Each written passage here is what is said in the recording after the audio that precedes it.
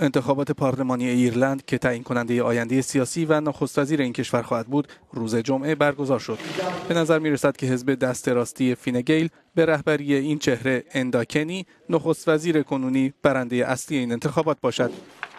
رقیب اصلی آقای کنی مایکل مارتینز رهبر حزب فینفال از جناح چپ میانه با ده درصد اختلاف در نظرسنجی ها پایین تر از او قرار گرفته است. و بالاخره حزب شینفن به رهبری جری آدامز در جایگاه سوم قرار دارد. شینفن یکی از احزاب جمهوری خواه ایرلند است که در دهه های گذشته زیر عنوان ارتش آزادی بخش ایرلند شمالی فعالیت مسلحانه داشت. به نظر می رسد که حزب کارگر و احزاب کوچک دیگر اقبال چندانی در این انتخابات ندارند. جمهوری ایرلند در سالهای بعد از بحران جهانی 2008 بیشترین نرخ رشد اقتصادی را در میان کشورهای اروپایی داشته است. نتایج قطعی انتخابات ایرلند روز یک شنبه اعلام خواهد شد.